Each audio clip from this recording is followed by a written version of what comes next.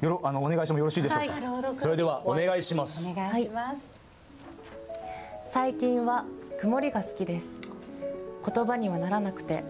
そんな感じこんな感じとでしか感情をうまく表現できないから寄り添う天気は今は灰色でちょうどいいです。でも私がもし溢れ出るものを我慢できず涙したらさすがに晴れてほしいかな。雨だったら多分きっとずっと泣いてしまうでしょ？はははです。ああこれは。なんかな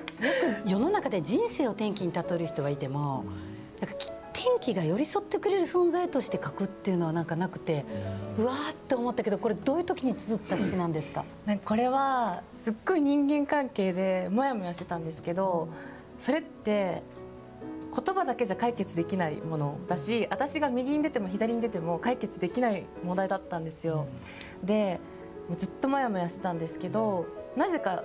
なんかこうイライラとかはしなかったしどうしようって不安もなかったんですよ。でそれが多分きっと外を見た時に灰色で多分晴れてたらこんなに外は晴れて元気なのに私は何してるんだろうってなっちゃうじゃないですか。そうでも外が雨だったら多分私は雨と一緒に涙が止まらない。